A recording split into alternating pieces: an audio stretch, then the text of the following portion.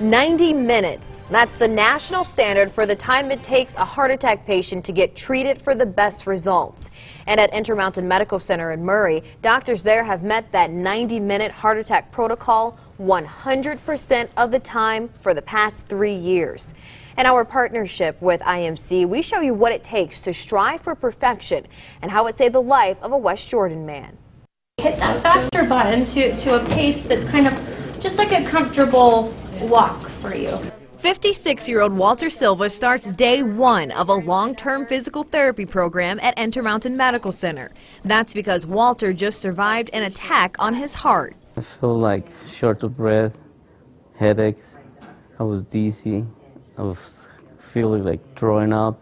One of Walter's coworkers called 911, and good thing he was having a full blown heart attack. A heart attack is where there's a blockage of one of the arteries supplying blood flow to the heart. It looks like this. Then it completely stops abruptly, and that's that's a classic heart attack. So when Walter arrived at IMC's emergency department, At the hospital, they were already waiting for me, and uh, everything happened so fast. Emergency Department Chair Dr. David Barnes says treating a heart attack patient means teamwork at every level. Coordination of this takes a lot of work between the emergency department, uh, the cardiology department, as well as nurses, physicians to make sure that this all goes smoothly every time. As soon as someone arrives, they're given an EKG. We watch to see certain uh, patterns in the EKG that show us how the heart beats. And after a blood test, the heart attack patient is sent to a catheterization lab where cardiologists like Dr. Kent Meredith take over. Get in with a catheter,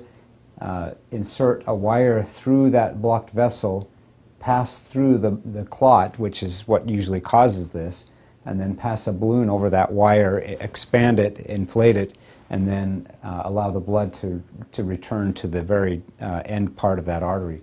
And then put in a stent. It's what's in Walter's heart right now. With me, it took 20, 28 minutes to do the whole procedure. And uh, something I'm very grateful now, because time is the most important thing. The national standard is 90 minutes, and over the past three years, Intermountain Medical Center has met that standard 100% of the time, and they meet as a team to review each case. We look at whether there might have been any uh, avoidable delays, and if there were, then we kind of look deeply into those and find out what we could fix so that next time it doesn't happen again.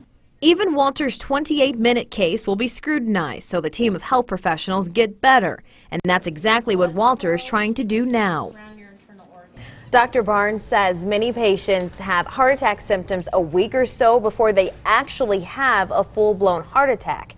He says not to ignore those chest pains or shortness of breath. Go see a doctor and they can try to catch the blockage in your artery before it tries to kill you.